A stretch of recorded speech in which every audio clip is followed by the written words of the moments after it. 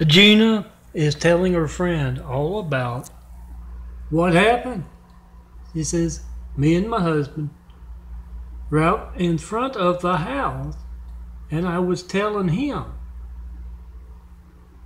that the smog was so thick I can't even see our neighbor's house. And that's when it happened. The angriest looking little Oriental fella appeared out of that smog. And he said, Pitiful human. You're lucky I let you see anything. Then he disappeared back into the smog.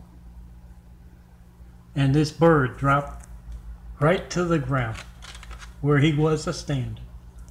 Oh, yeah, that's smug. Asian guy to smog.